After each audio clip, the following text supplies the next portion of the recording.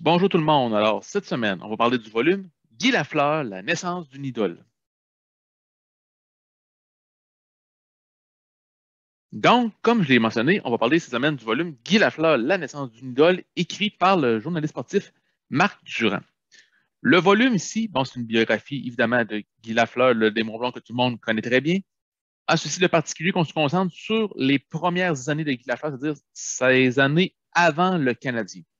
Donc, on va voir ces années-là, son passage au tournoi Pee-Wee de Québec, ces années dans le junior. Et puis par la suite, bon, on fait mention un petit peu de sa carrière professionnelle, mais c'est vraiment centré surtout sur sa carrière junior, tout particulièrement avec les remparts de Québec. Donc, tout le monde sait que Guy Lafleur est né à Tursault, qui est une ville québécoise qui est à la limite entre le Québec et l'Ontario. Et puis donc, euh, très tôt, on, trouve des très bons euh, talents. Excuse-moi, très tôt, on trouve que Guy Lafleur, bon, on voit qu'il se démarque à travers les autres joueurs. Et puis là, bon, ben, dans, la ligue, il y a une compétition, il compétit beaucoup contre Rockland, qui est une ville, elle, de l'Ontario, qui joue souvent contre l'équipe de Tursault au Québec. En 62, 1962, c'est la troisième édition du tournoi Pee-Wee de Québec. Et donc, Tursault ne participe pas au tournoi encore euh, au Pee-Wee, mais Rockland, eux, participent au tournoi et ils vont demander la permission de pouvoir euh, aligner Guy Lafleur pour eux avec le tournoi. Écoutez, Guy Lafleur est âgé de seulement 10 ans en 1962 et il va être élu le meilleur joueur du tournoi à sa première participation. Il va participer encore deux autres années consécutives au tournoi Pee-Wee, c'est-à-dire en 1963 et en 1964. Et cette fois, c'est Tursault qui va, Tursault va évidemment aller au tournoi et va garder son joueur, ne le prêtera plus à Rockland pour les deux autres éditions. Et bon, évidemment que Guy Lafleur étant ce qu'il est, il va dominer la compétition, entre autres à sa dernière année en 1964. Il va inscrire sept buts dans une rencontre, en plus de blesser deux gardiens de but. Parce qu'on disait qu'il y avait un lancer frappé très puissant pour l'époque. D'ailleurs, un de ses surnoms était Boum Boum, comme Bernard Boum Boum Geoffrion, puisqu'on dit qu'il y avait un lancer frappé euh, qui faisait peur aux gardiens de but. Par la suite, bon, il va continuer son cheminement. Et il va revenir à Québec en 1966, alors à l'âge de 15 ans, pour débuter son stage junior. il va commencer d'abord avec les As de Québec. Puis par la suite, quand les As vont disparaître, il faut dire que les As, ça n'allait pas très bien. La formation était moribonde, attirait très peu de foule. Et le club va disparaître.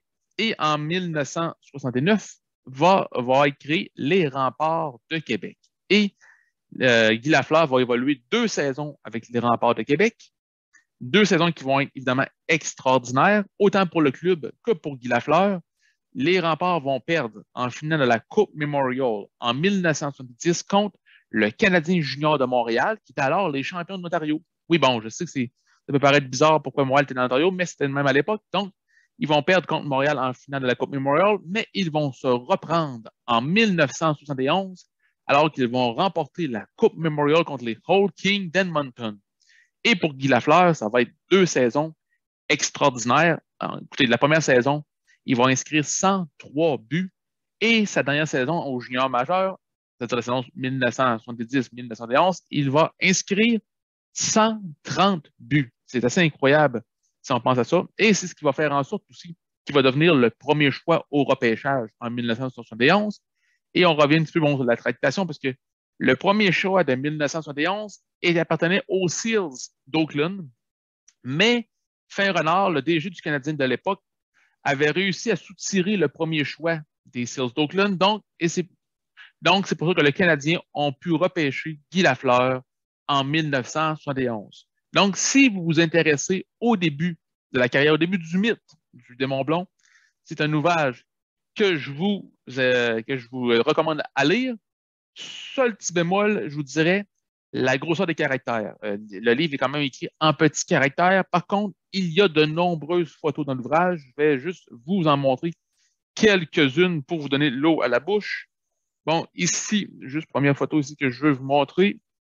On voit juste ici Guy Lafleur qui vient d'inscrire sept buts lors, en 1964 lors d'une rencontre du tournoi Pee-Wee de Québec.